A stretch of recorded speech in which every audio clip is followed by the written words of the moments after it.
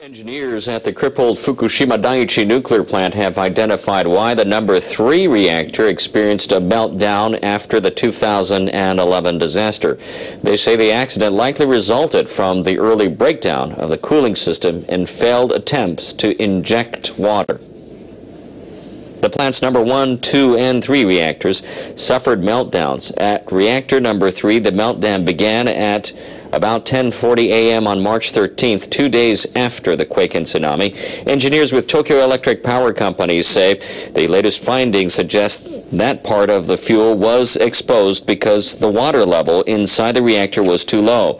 This indicates the functions of the emergency cooling system had already been lost by early morning. Their report also says firefighters began to douse the reactors with water shortly after 9 a.m. They say that may have been ineffective because of leaks from the piping. TEPCO officials say they will continue to investigate why massive amounts of radioactive substances were released and how it happened.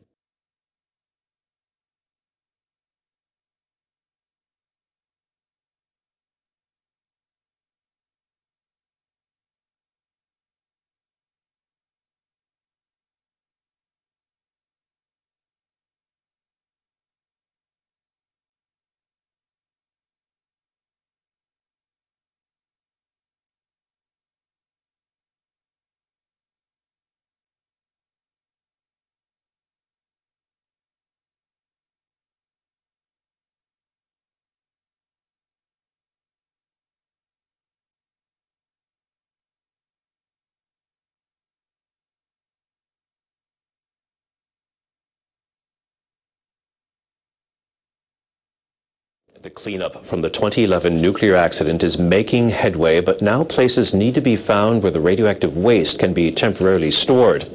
So the Japanese government has asked communities near the crippled Fukushima Daiichi nuclear plant to host storage facilities. Environment Minister Nobuteru Ishihara and Reconstruction Minister Takumi Nemoto visited Fukushima Prefecture. They asked Governor Yuhei Sato and the mayors of three towns, Futaba, Okuma, and Naraha, to accept the facilities. The storage sites would be used to hold radioactive soil and debris collected from decontamination work for up to 30 years. The ministers say the government would legislate its pledge to remove the waste out of the prefecture for permanent disposal if the communities agree to host the facilities. The government plans to acquire 19 square kilometers in three towns and then nationalize the land. It would start bringing waste to the facilities by January 2015 after it obtains the consent of local landowners. But local opposition is strong. Residents say they don't want to give up land that has been handed down to them from their ancestors. The residents say the facilities could also discourage evacuees from returning to their hometowns. The government must achieve uh, accountability and earn the residents' understanding. We must firstly care about the residents' opinions so that we can create an environment where they can accept the plan as soon as possible.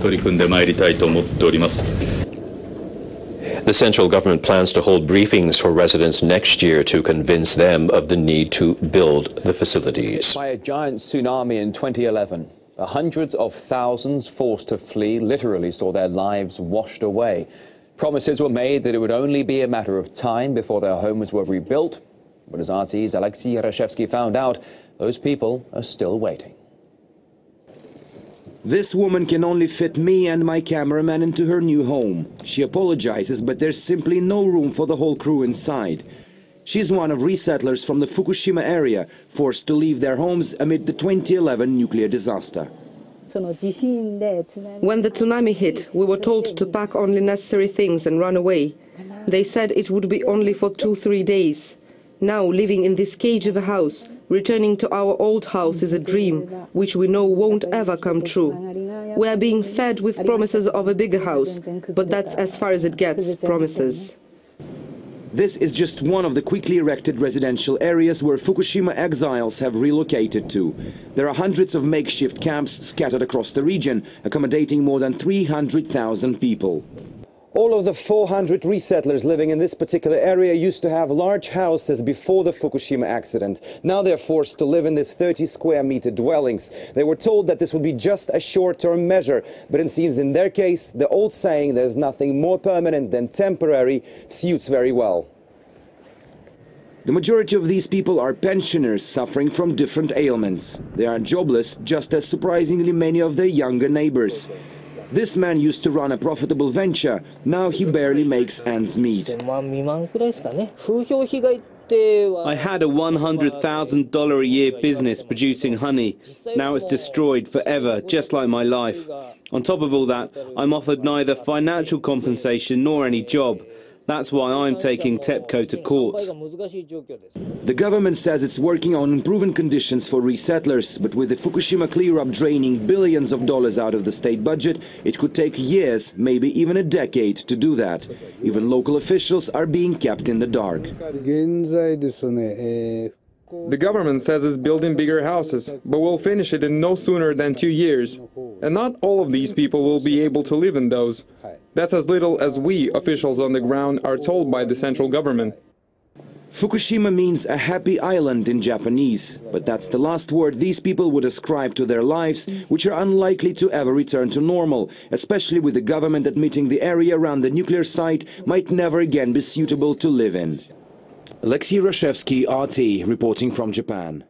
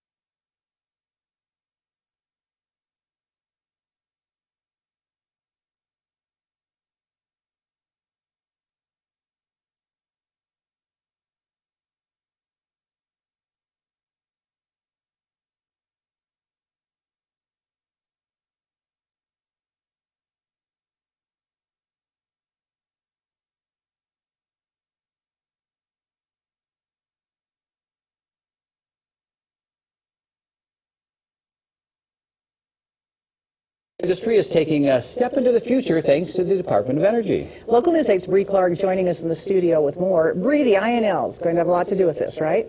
That's right. The Department of Energy has given a company called NuScale a grant for a smaller, more efficient nuclear reactor. But the INL could be giving them a place to set up shop. When you think of a nuclear power plant, you think of this huge dome that takes up all the space in the world. But NuScale is shaking the nuclear industry with a new concept. We don't have all of those vessels and pumps and motors and valves to make our plant work. We rely on three things. Those three things are convection, conduction, and gravity through a natural circulation process of water and heat. As long as those three things work, our plant will work, and it will always safely operate, and it will always safely shut down. And with anything this innovative, there has to be stakeholders, like the Utah Associated Municipal Power System, which Idaho Falls Power is a part of. We believe we've got um, great expertise in Idaho Falls to be, you know, hopefully part of any conversation of deployment of that new technology. Um, and so, you know, we just look forward to continuing to um, understand what role we can play in in investigating and monitoring development of small modular reactors. A fairly great concept, but will it help our economy? Grow Idaho Falls Incorporated sure thinks so. It's a great opportunity, not just for Idaho Falls, but all of eastern Idaho.